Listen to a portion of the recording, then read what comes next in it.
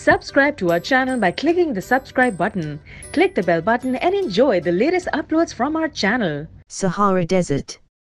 The largest desert in the world, filling nearly all of northern Africa, it has a total area of some 8,600,000 square kilometer. The actual area varies as the desert expands and contracts over time. The Sahara is bordered in the west by the Atlantic Ocean, in the north by the Atlas Mountains and Mediterranean Sea, in the east by the Red Sea.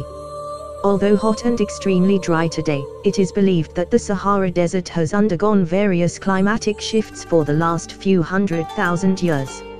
It is believed that people have inhabited the Sahara Desert since 6000 BCE and earlier.